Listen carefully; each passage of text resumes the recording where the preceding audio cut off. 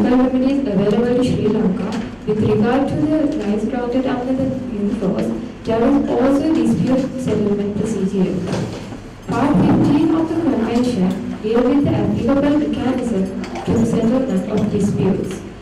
According to Article 279 of the Convention, state parties resolve their dispute by peaceful means based on the Charter of the United Nations.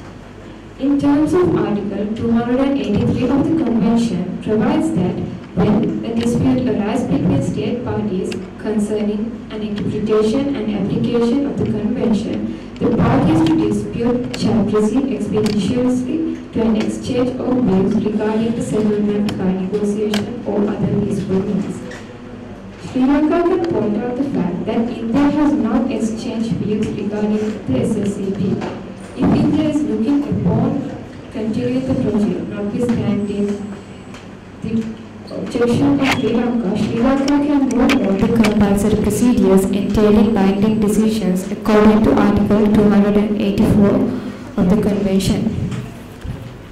With regard, with regard to the Article 290 sub-Article 5 of the UNCLOS, a state becomes entitled to international tribunal, entitled of the International Tribunal on the Law of the Sea for provincial missions.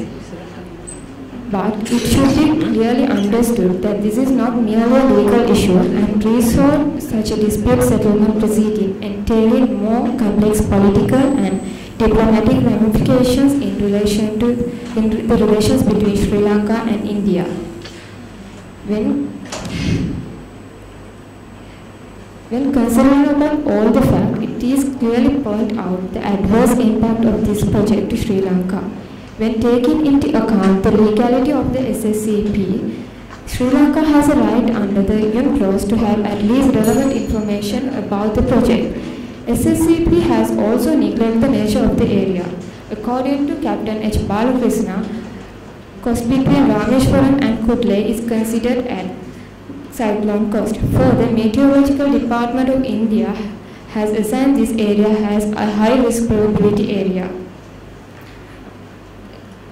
On the other hand, when ships are sailing on this canal, they can't speed because this water is not that much deep.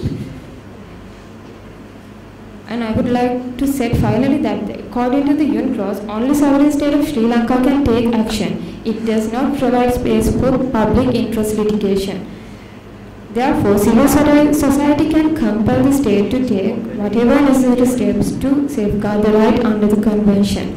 If SSCP continues in future, it will affect our future generation and our nation with adverse impact. Therefore, most suitable solution Sri Lanka has is dispute settlement mechanism to refrain from the adverse impact of SSCP. And I would like to conclude my presentation by recommending that SSCP should not be continued due to environmental impact and if SSCP is continued, then Sri Lanka should move to International Court of Justice or to International Tribunal for the Law of the Sea to seek justice.